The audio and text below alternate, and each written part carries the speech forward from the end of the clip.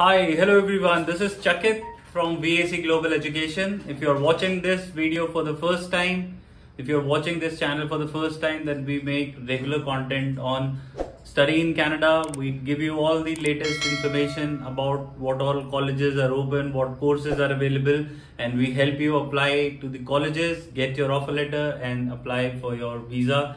And that's what we do. So if you are looking for the uh, latest update about these uh, different colleges in Canada, then you can subscribe to us so that you get all the latest update. So as you have seen, uh, we are going to talk about the colleges which accept 60% or above in Canada. So I'm going to give you the list in which you don't have to worry about about different programs which will which are available at these colleges and universities and you can get the offer letter from. So starting from the uh, first of all the cape breton university which is available in nova scotia and they have lot of uh, good programs which are two years uh, uh program which gives you three years of post study work visa. Then we have sheridan college which is in uh, ontario region toronto. Then we have conestoga then we have Algoma Universities. Then we have George Brown College. This college has one of the highest approval rate and the turnaround time is little longer. So if you are planning to apply for George Brown College, then make sure that you have at least two to three months in hand before you can get the offer letter. Then we have Saskatchewan Polytechnic, which is in uh, Saskatchewan region, and this uh, uh, Polytechnic also has a very high visa success rate because this is come this comes under the remote area and gives you a very high visa success rate. Then we have Niagara College, which is in Toronto again, and uh, this one will accept 60% and above. Vancouver Community College, which is in uh, British Columbia, there you can apply if you have 60% or above. Then we have Fleming St. Clair, Canadore and Northern Light College. So all these colleges will accept your application if you have 60% and above. Now with 60%, you also need to make sure that you have an IELTS score of 6.5, no less than 6.